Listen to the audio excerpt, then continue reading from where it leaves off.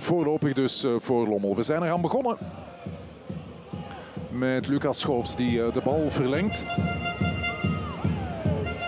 De teruglegger van Talvitje en meteen de goal. Bijna.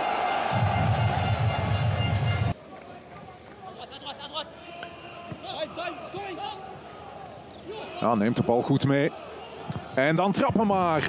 Oeh, daar had de, de Batti het wel lastig mee.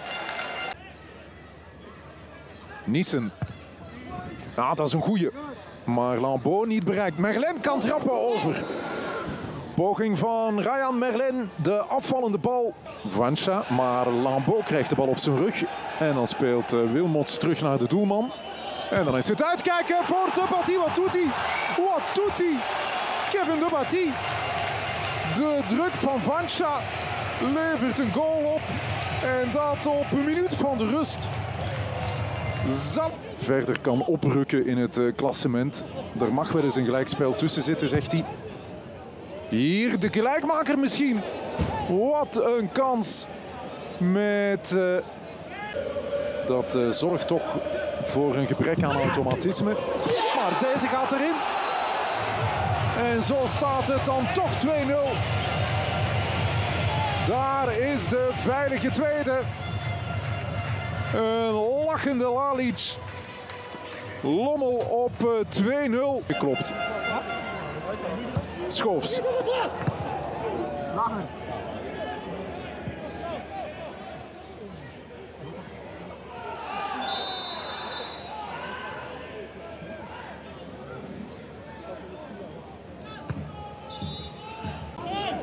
Jokka.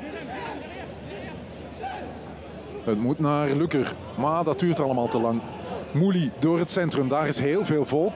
Atterri nog met het tikje. En dan de voorzet. Atterri, ja, dat is dan eindelijk zijn eerste. Daar heeft hij lang moeten op wachten. Maar eindelijk is er dat uh, doelpunt voor uh, de spits van Luik. Die de ondankbare taak had om Bertaccini op te volgen. De aansluiting is een feit. Met Fanscha voor doel. Santos, goede beweging. En daar is Fanscha met zijn tweede. En hij maakt de wedstrijd dood. Fanscha met uh, 3-1. Hij doet de boeken toe. Lommel wint deze wedstrijd. Merlin. Bal kwijt aan een uh, opzittende Talvitje. Ze zijn met z'n vieren. 4 tegen 2 in het voordeel van Lommel. Fanscha voor zijn derde. Fanscha voor de derde keer aan het feest.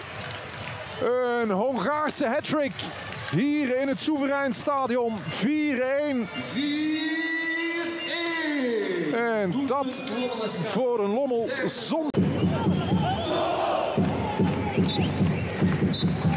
Vermeijeren maakt een einde aan de wedstrijd. De drie punten zijn voor Lommel na een overtuigende zege tegen Luik. Uiteindelijk dankzij drie goals.